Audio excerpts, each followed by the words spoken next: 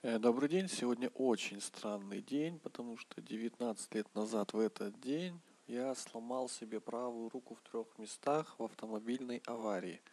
Спустя 10 лет в этот день я сломал левую ногу, занимаясь спортом. Э, Сегодня я выходил и попытался сломать на левой ноге палец. Но все прошло успешно, более-менее палец живой. Я понял, что это знак – и решил раскрыть вам Грааль номер два. Запоминайте, Грааль номер два. Первый Грааль я раскрыл вам не так давно. И он, он вызвал очень-очень много шума. Очень много шума и толков, и люди стали размысливать, неужели все на самом деле так просто. Сегодня я вам раскрою Грааль номер два, который вам окончательно раскроет глаза на все, и вы поймете, что все не, то, не только просто, очень просто, а простее простого и простым погоняет. Вот смотрите, сегодня речь пойдет о трейдеров. Скажем так, один очень серьезный фонд нанимает на работу трех трейдеров. И набирает он их по простому критерию. Первого он берет трейдера плохого, плохого, совсем плохого. Давайте условно назовем плохой трейдер. Ну пусть он где-нибудь там, не знаю, таксистом работал в Нью-Йорке и ничего не знает совершенно, допустим, о каких-то там вообще, о трейдерском мире он ничего не знает, он первый раз сел торговать. То есть, естественно, вы понимаете, что все какие-то аналогии не, проводите, все сравнения у нас случайны.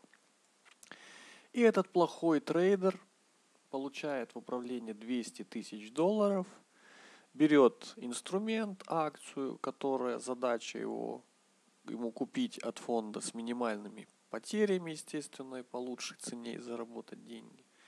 Он берет по 20 долларов, покупает 10 тысяч акций. Работает он над этой операцией всего один час, он просто набрал это все за раз, купил – сел и сидит, больше ничего не делает. Сидит, больше ничего не делает, потому что он и не умеет больше ничего делать, потому что он плохой трейдер, он вообще ничего вообще в этом не соображает. Но в этом же кабинете за соседним столом сидит средний трейдер, средний трейдер с образованием среднего трейдера, он сидит и он учился, он оканчивал одно образование за другим в вузах. Ну, учился он средненький такой, трейдер средненький. И этот средненький трейдер не стал покупать по 20 этот актив, так как задача поставлена фондом купить с минимальными потерями по лучшей цене, и он переиграл плохого трейдера в два раза. Он дождался, пока через там, какое-то время актив упадет в два раза, и он на эти деньги купил в два раза большее количество акций. Но так как он трейдер средний, то, сами понимаете, разворот он не поймал. И тут у нас выходит на финишную, так сказать, прямую хороший трейдер с хорошим образованием, который учился в Гарварде и окончил все, что можно, любые курсы преподавал, этот трейдинг – и он говорит, что вы видите, я переиграл плохого трейдера в 5 раз, то есть в 4 раза переиграл его, э, второго среднего трейдера переиграл в 2 раза, я купил акции аж в 4 раза больше, чем первый трейдер, который плохой, в 2 раза больше, чем средний трейдер, который средний. И купил это все по цене 5 долларов, и потратил те же 200, то есть я сидел, я дольше ждал, у меня чуйка, потом я стал набирать, я набирал частями, я усреднялся, я торговал, я совершал сделки в плюс, акция продолжала падать, я совершал снова сделки и все такое прочее. И вот я вывел среднюю, у меня получилось 40 тысяч акций по 5 долларов на 200 тысяч. Вот посмотрите, какой я хороший трейдер. И, видимо, зарплата у меня должна быть, ну, не знаю, хотя бы в 4 раза больше, чем у плохого трейдера. Дальше произошел небольшой кризис, и акция стала падать и она отпадала до цены 1 доллар. Видите, вот здесь цена 1 доллар. Пришли эти, вызвал их управляющий фондом этих трех трейдеров, говорит, ну, плохого-то понятно, все с ним ясно. Я ему так зарплату не, не плачу, потому что он работал всего один день вообще в году. Просто купил один раз эту акцию, непонятно чем занимается, ходит и пьет бесплатный кофе. Средний вроде как что-то делал. Вроде как что-то делал, кроме того, что ел на третьем этаже у нас бесплатные завтраки. И у него показатели, в принципе, да, лучше, чем у плохого. Средний говорит, да, да, я лучше плохого. Ну, говорит, хороший, хороший зеленый трейдер, зеленую звезду ему трейдинга.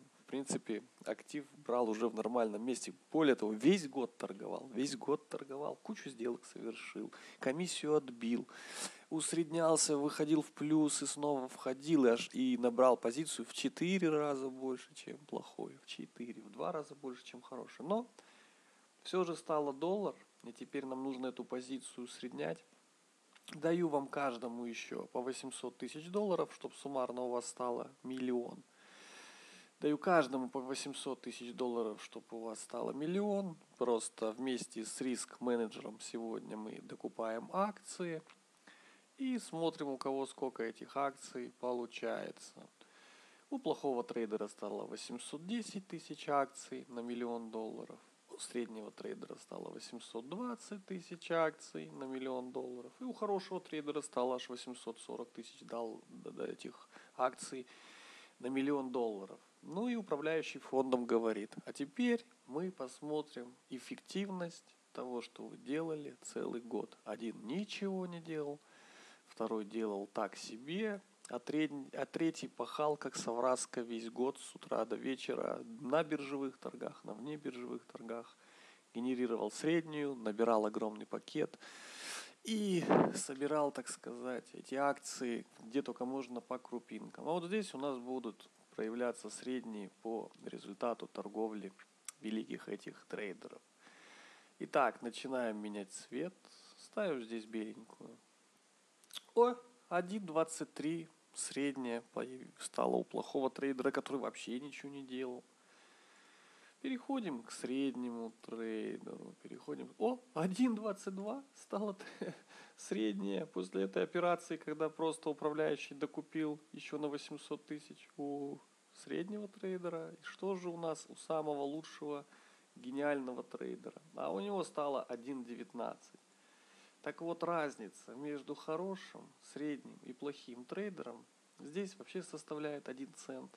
То есть средний от плохого для управляющей компании, для крупного фонда отличается в 1 цент. Потому что, в принципе, неважно, где они начинают формировать свои позиции, их риск-менеджер ограничивает в количестве денег, которые им выделяются, а докупаются только там, куда акция уже отпадает окончательно. То есть если бы акция от 10 пошла вверх, то на среднем трейдере заработали деньги, а на плохом бы не заработали. Также заработали на хорошем, потому что хороший-то в этот момент тоже формировал позиции. Он просто смог потом в конце усреднить ее до 5, набрать 40 тысяч, потратив всего эти 200 тысяч. Если бы от 5 был рост до 10, то на хорошем бы заработали достаточно неплохие деньги, хорошие, и потом бы только средний включился в работу, а плохой бы ничего не принес. А так как в целом они не принесли ничего, кроме того, что набрали суммарно какую-то позицию, и при единичке фонду пришлось это дело все усреднить, то они встали на стартовую прямую. Один встал на 810 тысяч акций, второй на 820, третий на 840 тысяч акций. Встал на стартовую прямую. При этом от единички нужно пройти до средней первого 23%, а до средней второго 22%, всего на процент меньше. То есть эта разница нивелируется вообще.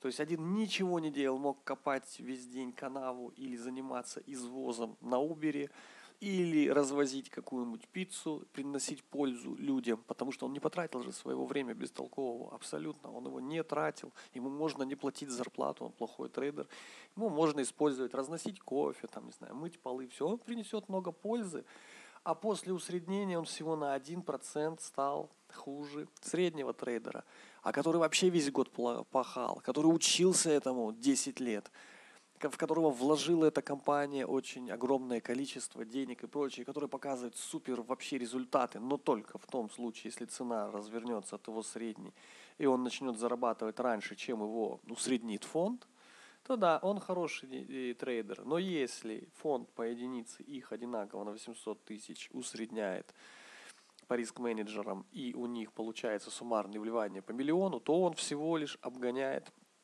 на 3% всего на 3%, не э, в два раза, как он, набирал свою позицию, да, не в два раза, а всего на 3% он отличается от среднего трейдера. Так стоит ли за эти 3% платить ему какие-то хорошие деньги? Или, может быть, стоит за 4% вообще набрать всех трех плохих трейдеров?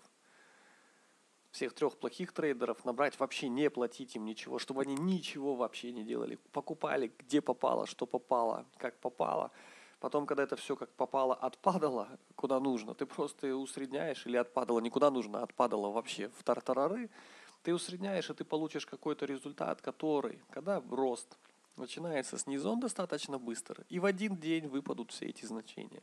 И 1.19, и 1.22, и 1.23, скажем, выпадут в день роста с 1.11 там, или с 1.15 до 1.25. Они все вы, выйдут в один день. Если эти позиции в этот день не закрывать, слушайте меня сейчас внимательно, то да, Потом рост этой позиции будет э, давать меньше прибыли, потому что у этой позиции больше акций, и чуть больше прибыли будет давать после преодоления своих средних э, рост этой позиции, потому что здесь, как говорится, чуть больше акций. Поэтому управляющий фондом, что сделает по этим трейдерам? Как только у них достигнут в этот день средний, он сократит, сократит их все позиции, скажем, да, ну не до первых там 200 тысяч, да, ну оставит тысяч на 300 каждому акции по этой средней цене или просто оставит им каждое, каждому одинаковое количество, скажем, 100 э, тысяч акций, 100 тысяч акций, 100 тысяч акций он оставит после того, как выше средний в этот день выйдут эти позиции, и, соответственно, при дальнейшем росте и плохой, и средний, и хороший трейдер, и даже очень хороший, если был какой-то там по два, будет фонду приносить одинаковое количество прибыли. Поэтому что мы имеем из этой очень короткой лекции про плохого, среднего и хорошего трейдера? Что трейдеры вообще не существуют, несуществующая ниша – это вам все вдолбили в голову. Вас просто обманывали. Потому что в серьезных организациях, где работают серьезные трейдеры, если там до сих пор еще работают не какие-то машины, если не какая-то там организация с высокочастотными роботами, а если это просто компания, где работают трейдеры, то компания держит всегда каких-то средних трейдеров. Им просто не нужны очень хорошие трейдеры, не нужны. Потому что эффективность этих хороших трейдеров, даже если они весь год будут пока пахать и соберут позицию в 4 раза лучше, чем ее собрал плохой трейдер, после усреднения полностью нивелируется, полностью исчезает этот результат этого хорошего трейдинга. То есть результат хорошего трейдинга, он не нужен никому. Соответственно, и хорошие трейдеры никому не нужны, как и плохие. То есть плохой от среднего вообще не отличается. То есть ты можешь набирать любых по телефону любых трейдеров, не знаю, с любого рынка, где они раньше торговали морковками. Ты можешь набирать любых людей, объяснять им, как нажимаются кнопки, если тебе нужно их сажать их вместе, если у тебя и главное фонд, у тебя есть деньги. Выделять им какие-то суммы, и пусть они совершают ошибки, пусть они просто совершают ошибки. Когда это все обвалится окончательно, и даже самый хороший трейдер, самой лучшей позиции останется неудел, выделяешь одинаковое количество денег, усредняешь всех этих трех трейдеров в один день, когда все проходят эти средние, сокращаешь все позиции до 100 тысяч долларов и получаешь с их позиций одинаковое количество прибыли. То есть на результат не влияют знания трейдеров, ни который купил по 20, ни который купил по 5. Все это доказывается элементарной табличкой, которая состоит из трех колоночек и трех трех линий, трех черточек, грубо говоря, состоит, да, колоночки у нас, столбики, все понятно. Ничего сложного в этом нет. Это может сделать вам, не знаю, пятилетний ребенок в современном мире может вам составить эту табличку. То есть, если вы к трейдингу изначально подходите, попытаетесь проанализировать модельно, что будет и что влияет, влияет на результат. На результат влияют только деньги. У кого они есть, у кого денег больше, те всегда фонды будут зарабатывать деньги. А плохой трейдер, средний или хороший, если он устроился на фонду, неважно. Плохой, средний или хороший трейдер, это только важно если ты частник, и у тебя больше нет ничего, кроме этих 200 тысяч. А если у тебя ничего нет, кроме этих 200 тысяч, ты все равно их проиграешь.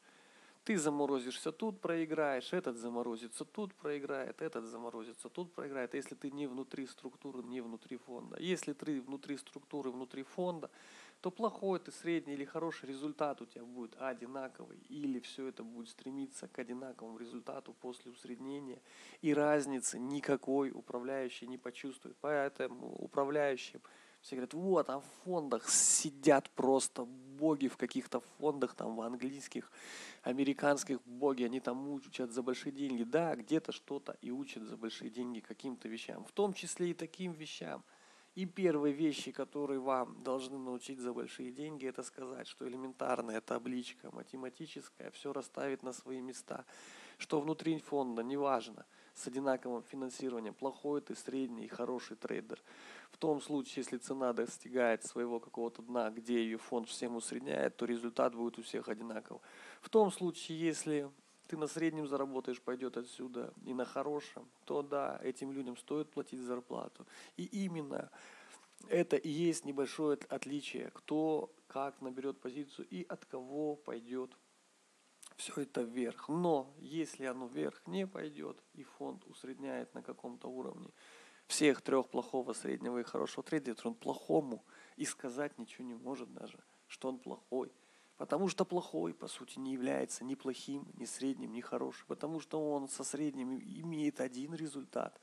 Если люди хотя бы просто ходили в школу, они математически понимают, что все трейдеры, все сотрудники в итоге на кризисах, когда все рушится и там внизу покупается, еще что-то, все имеют одинаковый результат по доходности. Это вам показывает вот эта вот табличка усреднения. А фонды работают от лонга, а шорта на рынке не существует. Что нужно, чтобы плохой, средний и хороший, какой вывод из этого? Чтобы плохой, средний и хороший оставались трейдерами. Нужно просто, чтобы их позиция сохранялась до момента усреднения – Соответственно, ни один серьезный фонд никакие стопы никуда не будет ставить. У них нет стопов даже в голове. У них стоп – это количество денег, которые они в итоге готовы в это дело вложить. То есть, если у них стоп единица, он заключается в том, что они по 800 тысяч каждому еще дадут и купят этот актив. И также этот фонд может бросить только компании, которые обанкротятся и уйдут вообще с биржи, обнулят свои акции. А если компания не обанкротится, не берет свои акции и будет существовать, то любой фонд на ней заработает деньги.